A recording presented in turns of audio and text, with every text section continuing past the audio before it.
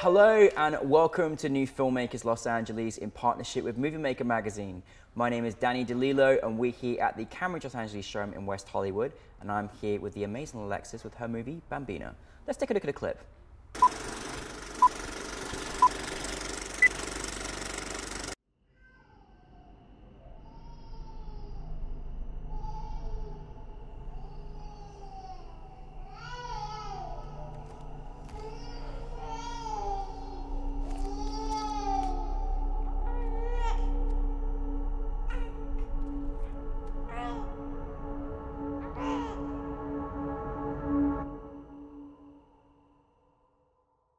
Um, Alexis, um, congratulations on your film. Like, really, really, really. I, I found it such an experience to watch. Um, but for those that haven't seen it, tell us a brief synopsis. Yeah, well, thank you so much. Um, I'm very honored to be screening with all of the amazing women that you showcased last night. Honored it to was, have you. It was really amazing. Um, so, Bambina um, deals with postpartum psychosis, and it's this one woman's journey as she faces it. Yeah. I mean, where did this inspiration come from in this particular story? Yeah, well, I um, I had sat down with uh, Claudia Marasca, who is our amazing lead in the film, and I had been recommended to meet with her through a friend who was going to work with her on a project, but it wasn't working out timing wise, and I just was looking to do a foreign language piece, and um, Claudia speaks Italian, so her and I met, and we were just brainstorming different ideas to just create and collaborate on, because in this industry you have to make your own opportunities. Yes. Um, and uh, she brought up postpartum um, depression and postpartum psychosis and some articles she had been reading. And I had a friend who went through postpartum uh, depression and psychosis. So it was a topic that was already on my mind as well. And then I left that meeting just really inspired by Claudia and just intoxicated by her as a human and wanting to create with her and create Yeah. something powerful. And I couldn't get postpartum depression, postpartum baby blues, and Yeah. postpartum psychosis out of my mind. And it's a topic that women are afraid to talk about or bring up or bring Yeah. up within their community of women and bring up to their husbands. And i wanted to shed a light what it was like what it is like um, at the extreme level. And i ended up meeting with danny our amazing writer. And i met with her after i'd met claudia that morning This and great how and you it was just- interact. well, the universe is looking after you. yeah, the universe was looking after all of us. Like it was a beautiful marriage. Um, and I, I was just telling Danny, I, Danny and I were working on another project together, and I was just telling her like I can't get postpartum out of my mind. Like I just met with this amazing actress. Like I don't know if it's something you'd be interested in. And like literally that night, she like, well, at the meeting, she was like, well, I have a friend who uh, is a therapist within postpartum depression and works with women. And she ended up penning the script overnight. And literally, Claudia was leaving for Italy, and we are like, we have to do this, and we have to do it now. So um, the funding came together quickly, and we pulled favors quickly and got a, an amazing crew together to make the film. So I think I think it was like we got the script on a Sunday or Monday, and then next thing we were um, getting it on its feet within a week. So Uh, uh, that's amazing. Yeah. How amazing that all like joined together, and I love the fact that you had this great interaction meeting. And it's almost like you know, because sometimes you know you feel like there's a certain order of how you have to do things, and you got the inspiration from this actress and, and, and knowing her and, and, and that whole perspective, Mm-hmm. and then almost journeyed into it almost like the op- opposite way round that you'd normally do. That's so wonderful. That's Mm-hmm. Yeah. really really awesome. I think it's remarkable, and it's so great when you find a team that are all passionate about creating this particular project. Now, I mean, I think, you know, uh, uh, speaking about a topic like this, which I feel isn't spoken enough about, and I've certainly known people in my life that have suffered with it, um, uh, you know, isn't it great to sort of like, you know, uh, put out a story that either people have been affected by, people know someone's going through it, or it's educating people about it.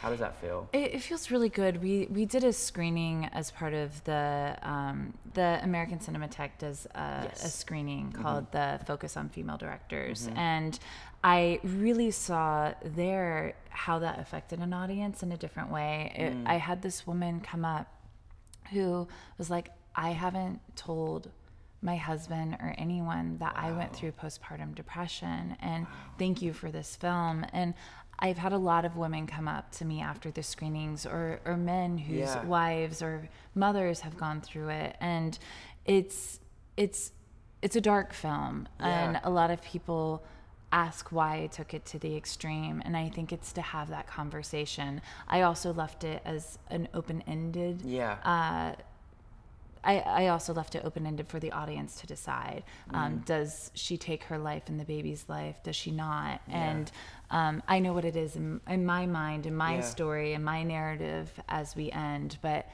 each person comes away with a different experience. Yeah. So, and it, it leaves room for discussion, which I think social cause based films like this, it's important to to have a discussion and to shed a light on it. Yeah, I mean, honestly, like I, I think your your visuals were just out of this world, you know, and and you know, I love it when a filmmaker can just leave you in a moment and you're just left there. It doesn't quickly pan somewhere else, but you're just there in a mm-hmm. moment, and particularly her moments of isolation, and you really felt the isolation, you know. Um, obviously, that's definitely your talent and skill set as well. Was that something that was important for you in terms of the actual, you know, filmmaking process of it all? Yeah, I um, I sat down with our DP, and it, his name's Ben, and he's phenomenal Yeah. and so gifted, so talented. But this was the first project we worked on together. Oh, wow. Um, and we've since worked on two other films together. Like I, I he's phenomenal, and I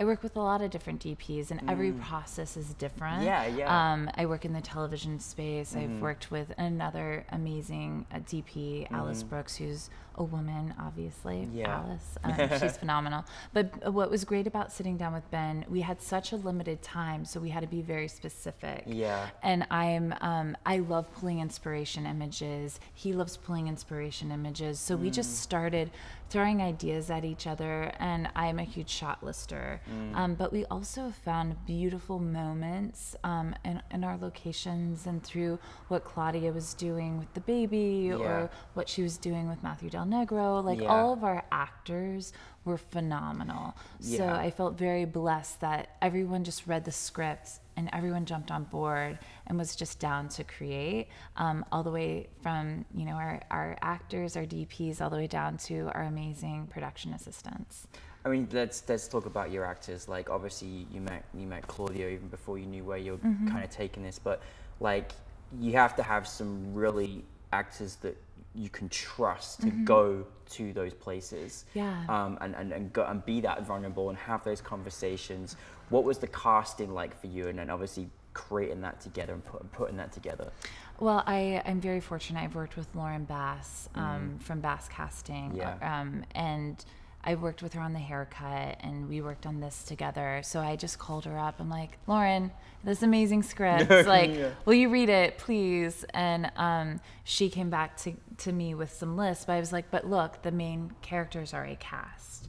And it's always this thing when you have a casting director come on board, they want to be familiar with that person's work. But Claudia hadn't done anything really before. She had just finished studying, and um, I. I just knew she would be incredible. Mm. You have that gut instinct Yeah. as a director when you sit across Yeah. from someone at a table, and I Yeah. just she was so breathtaking and intoxicating when we first met. And i was like she's going to slay this role. Our cast was phenomenal all the way from matthew and peter and jenny and heather and then little baby scarlett was just so precious. Everyone came on board and it was all hands on deck. And um, everyone just came because they uh, were connected to the script, which was amazing to have these high level, um, talented actors coming to do this little baby short film. I, but listen, I think as a reflection on you, I just think you have a, a, a wonderful aura of energy, and as well as being wonderfully talented. I want to work on your set because you're just like I can feel how you make people feel, but how you you know take this to. A, I mean, look, you just created this project and did it so quickly, and look at what you create. It's absolutely beautiful. Um, you also, what I love is that you know, particularly this month, I loved how everyone you know at the new filmmakers LA, uh, every one of the filmmakers were trying something I never tried before. And I love Mm. how you made your first film that was with a different language that you didn't even speak. Mm-hmm. Um, how was that experience for you? It, it was phenomenal. I, I'm a huge fan of foreign language Mm-hmm. films. I mean, I have to give a shout out to my favorite film, The Tribe. Like, it's Oh, in all Ukrainian stop it, sign yeah, language. yeah, Like, you know, yeah. that's definitely a film um, I, I fell in love with Mm-hmm. that was on the festival circuit a few years back. Yeah. And I'm always gravitating toward uh, foreign films for reference. Yeah. And so I just, I find. Um, other languages beautiful. I'm sick of hearing my American accent all the time. So it was great, like working on an Italian Yeah. film, hearing the language. It it was. Um, I think it also just made the film different. Yeah. Um, exploring an expat from her country who came Yeah. Here um, and followed a man, and what what is that like? Like being uprooted and isolated from your family, and and being pregnant with this man's child who just got a divorce, and you know is in that process of are we where's that going? The stakes are high, I- yeah. The stakes are very high. So it was challenging because I don't speak the language, but um, what was lovely was Claudia's bilingual and super supportive. It came down to the editing. Emily um, Mendez, our editor, who I've worked with on now five films, um, her she's so talented as an editor um, but her and i are like okay is this correct did we get this right? Did we get it on? so um, the blessing is Claudia came in to post and just made sure that flow was working properly uh, within everything making sense Yeah, we need a, we need the, the authentic voice to make sure everything's you know correct, right? Yeah. Um. Now, you know, everyone was just like, I had a lot of people, audience people come up to me saying, "Oh my goodness, that film just moved me in such a way, and moved me in a way that I didn't feel like I could be moved." Um, which is a credit to what you've you, you've all created. Um, you. what was it like to have your film, new filmmaker to LA last night? Particularly, you know, I mean, we're local and global, and we show films from all over the world every single month. But what was it like? Because last night was special because you know we had United Nations for Women there, women in film, Alliance of Women Directors, and just really putting a full focus on Women's Independence Month. What was that like? Oh, it was wonderful because I'm involved in the Alliance of Women Directors, They're Women amazing. in Film. Femme Fatales. Those are Fatales, yeah. organizations that I believe in Mm-hmm. and champion, and I'm here because of them. Mm-hmm. Um, and it was a magical evening just to see so many films by women on screen uh, with a lot of amazing female protagonists Mm-hmm. and that female lens just all in one night was really special Mm-hmm. um, i had a lot of great questions after as well a lot of people came up to me and uh, some students who are women who are going to school so it was really cool to answer their questions and also i'm excited to follow their progress i'm a huge champion of women and Yeah. diverse voices Yeah. um, within our community and i mentor younger um, filmmakers um, be them women or people of diversity or even you know the white man it's Yeah. like we all have to just rise up together Yeah. um, that sounded weird saying the No, white man well, no, because it follows on. Uh, you know, speaking of which, Yeah. like I, you know, I decided to launch, you know, hashtag Time to Step Up. which I love, by the Um, way. oh, I was you. like hashtagging last night on my Insta feed. Oh, bless I, I don't know if the Insta story came oh no, through at all, but we're, we're hashtagging the world with that, and I Yeah. think you know now is a, a very innovative time, and it's great that you know we're. You know, like you know, for example, Paul Feig is, is creating the first in you know um, inclusion Keg, riders. yeah. You know, powder keg. I mean, isn't it like nice? Because even though we've got so much work to do, Yeah. but we are hopefully moving into a more united direction in yeah. filmmaking.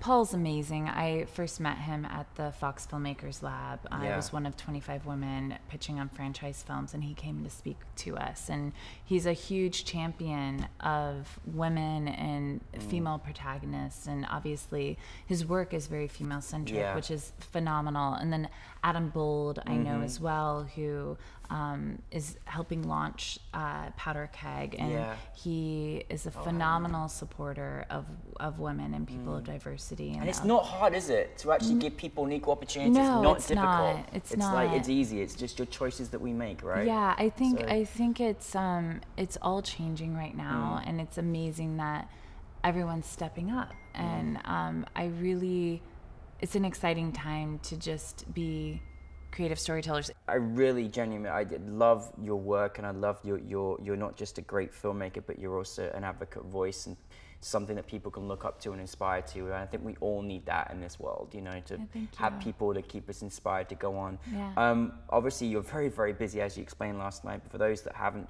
heard much of your journey, like tell us what's next for you. What are you working on? You know, Yeah. um, yeah. So uh, what's next for me is um, I'm attached to three features. Um, I'm Three. Yes, three features. I'm also, as I spoke about last night, I, I think it's so important as storytellers to constantly be creating Mm-hmm. material and drumming up stories uh, to tell. Yeah. And so I, I'm constantly in development. So I'm in the process of um, working on a TV pitch that's adapted of, of two books. Um, I'm working with my amazing writing mentor on that. Amazing. And then I'm constantly developing worlds, and I have uh, two other scripts I'm in development on that I'll be taking out uh, to pitch later this fall. So I'm just constantly creating on top of I'm directing regularly within television. So I Mm. It's feel very amazing. blessed. Well, well, yeah, it's ama- it's amazing. I, I love your work. I hope you can continue to shed it to our way um, because we, we, we love to see it. And congratulations on your film, and, and, and, and please bring more. And uh, thank you for all your wise words for us all as well to inspire us to go out there and do it as well. So thank yeah, you. be fucking epic Yeah. and live your dream. That's what I believe Hashtag in. that. Yeah. There you go. Hashtag live your dream. Live your Yeah. dream. I you literally go. say that on set all the time. I love it. Thank, Yeah, thank you, cool. Lex. Thank Well, you thank you much. guys. Thank you.